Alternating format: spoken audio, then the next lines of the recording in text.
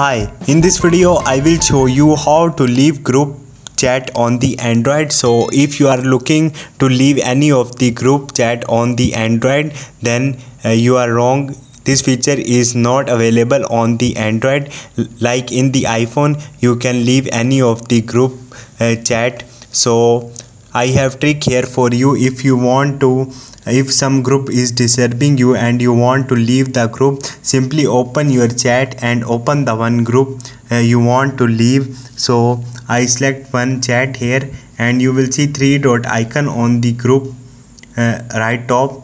Go to the details and in the details you will see multiple options. Simply click on the notifications and in the notification you have to turn off the notification for for this group. So whenever you will get a new message in the group it will not uh, alert you. So in this way you can uh, leave or ignore one group.